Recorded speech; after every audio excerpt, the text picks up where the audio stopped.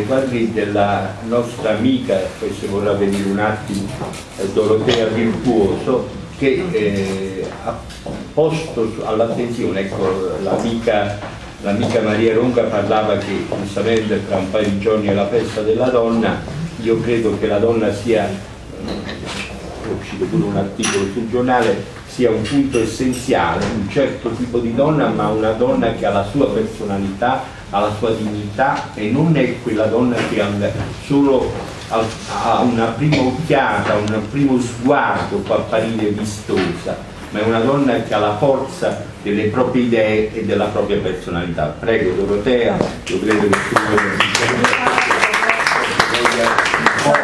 eh, dire agli amici quello che io ho solamente introdotto sulla sì. beltà dei, dei, dei, tuoi lavori. Allora, buonasera a tutti, uh, io mi chiamo Dorotea Virtuoso e sono una graphic artista web. Uh, disegno prettamente donne perché penso che la donna ha un ruolo principale in tutto nella vita.